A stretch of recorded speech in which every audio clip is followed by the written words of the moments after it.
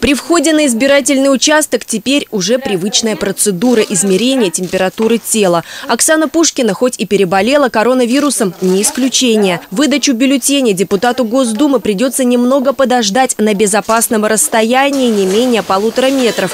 Несмотря на утренний час, избиратели активны. Показываем паспорт. Здравствуйте. Здрасте. Открываем паспорт. Вот.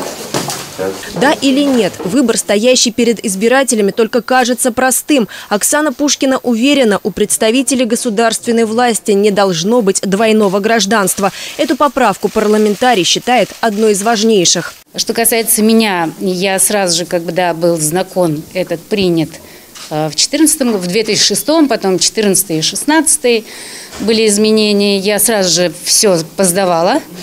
И не только я, но и мои, мои коллеги законопослушные. Но я считаю, что конституционально эта норма должна быть закреплена. В Одинцовском округе открыт 231 избирательный участок. Голосование стартовало 25 июня. Я активный гражданин, я депутат, я в системе. Поэтому и я вообще считаю, что это принципиально важно. Потому что за или против, как хотите, как сердце вам подскажет, да, и как вы видите будущее нашей страны. Но это очень важно, это статистический опрос, если хотите. И вы в нем обязаны принять участие. Основной день голосования по поправкам в Конституцию Российской Федерации 1 июля. В этот день избирательные участки, как и раньше, будут работать с 8 утра и до 8 вечера.